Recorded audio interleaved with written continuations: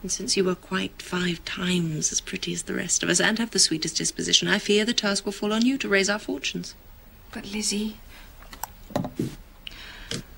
I would wish I should so much like to marry for love. And so you shall. I'm sure. Only take care you fall in love with a man of good fortune. Well, I shall try to please you. And you?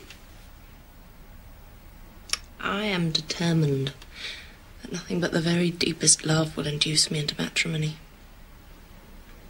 So, I shall end an old maid and teach your ten children to embroider cushions and play their instruments very ill.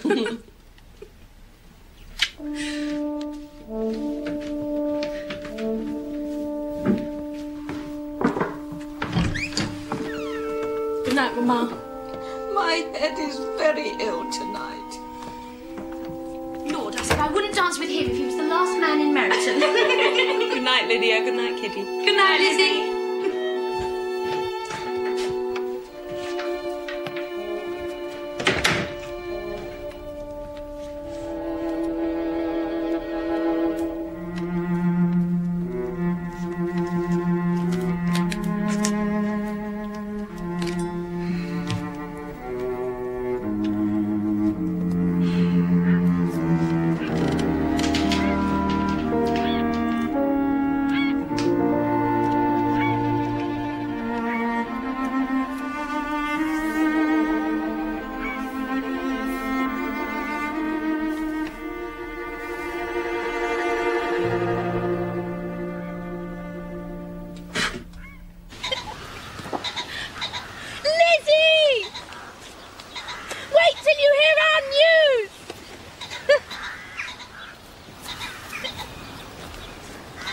Mr. Bingley has come to Netherfield. Sir William Lucas has called on him. Save your breath to cool your porridge, Kitty. I will tell Mamma. do not wish to know.